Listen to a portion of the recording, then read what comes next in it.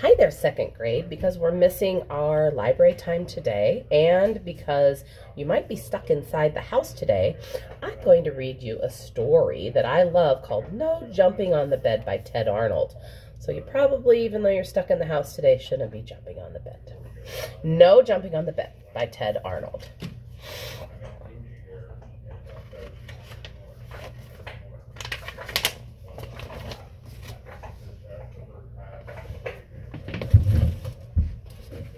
In his bedroom, near the top of the floor of a tall apartment building, Walter was getting ready for bed. Before turning out the light, his father said, If I've told you once, I've told you a million times. No jumping on the bed.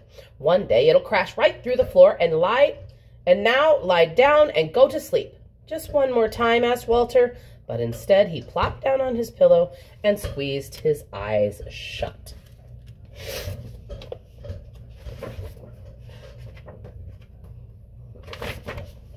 Good night, said his father as he turned off the light and pulled the door almost closed. The room was dark and quiet, except for a soft thump, thump, thump coming from the room above.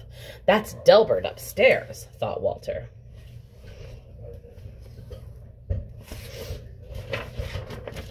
He switched on his bedside table. If Delbert can jump on his bed, so can I. Walter bounced higher and higher. On his last jump, his hair brushed the ceiling, but when he came back down, his mattress creaked the floor cracked, and the whole bed tipped sideways. Then down through the floor fell Walter, bed and all. Now it happened that Walter's bedroom was directly above Miss Hattie's dining room. She was more than a little surprised when a bed, through, bed fell through her ceiling and Walter landed in her plate of spaghetti and meatballs. Well, I was not expecting company for dinner, she mumbled, with a mouth full of meatballs.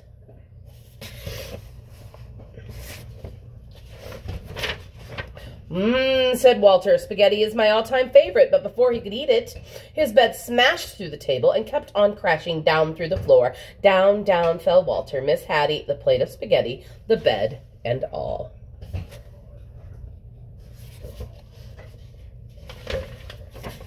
Miss Hattie's dining room was above Mr. Mattie's TV room. Mr. Mattie didn't even notice a bed falling through his ceiling until a meatball bounced off of his head.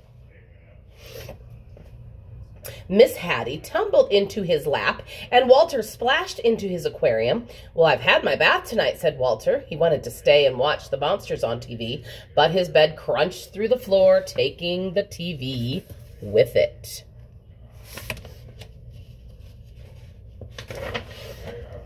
Down, down fell Walter, Miss Hattie, Mr. Mattie, the TV, the spaghetti, the bed, and all. Walter's Aunt Batty had just moved into the building. She was still unpacking when Miss Hattie, Mr. Mattie, and a dripping wet Walter tumbled through the ceiling right onto a box containing her rare Pantagonian stamp collection.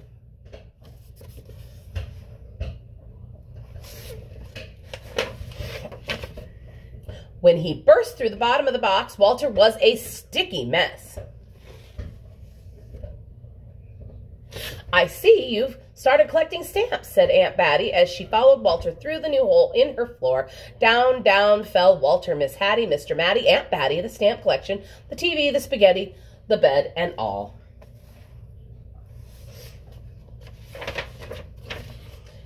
Patty and Natty had worked three days building their dream house with blocks. Afraid that Fatty Cat might knock something over, they carefully shooed her out for the night. Then upstairs, a neighbor came through the ceiling. Excuse us, said Walter, remembering his manners. We won't be staying long. The words were barely past his lips when Walter's bed bashed through the floor and continued on its way.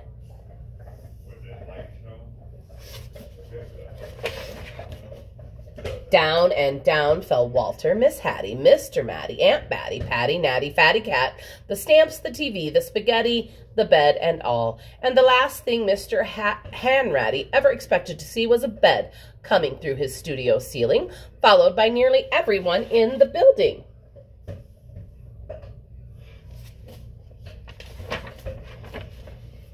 If I had known you wanted to see my paintings, he said, I would have tidied up a bit. But I've never, but they never once paused to admire Mr. Hanratty's colorful artwork. They were too busy splashing in his cans of paint, and then his floor caved in, and everyone followed Walter's bed down through the hole. Down and down fell Walter, Miss Hattie, Mr. Mattie, Aunt Batty, Patty, Natty, Mr. Hanratty, Fatty Cat, seven cans of paints, the stamps, the TV, the spaghetti, the bed, and all.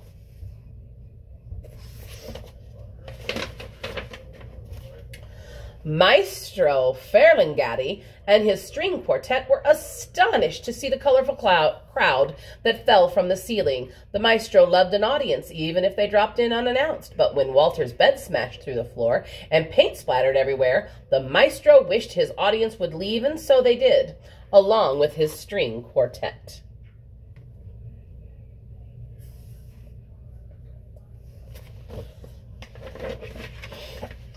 Maestro Ferlinghetti's practice room floor was also the basement ceiling. It was dark and quiet as midnight down there. Walter squeezed his eyes closed, and he tumbled through the darkness until he landed on something soft.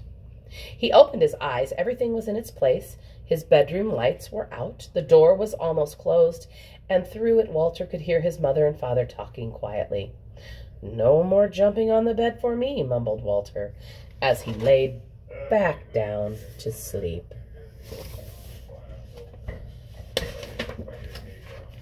Suddenly heard a creak, and the ceiling cracked, and down came Delbert, bed and all. Down, down, down fell Delbert. And that is the end of our story, No Jumping on the Bed by Tedd Arnold. I hope you enjoy your snow day today.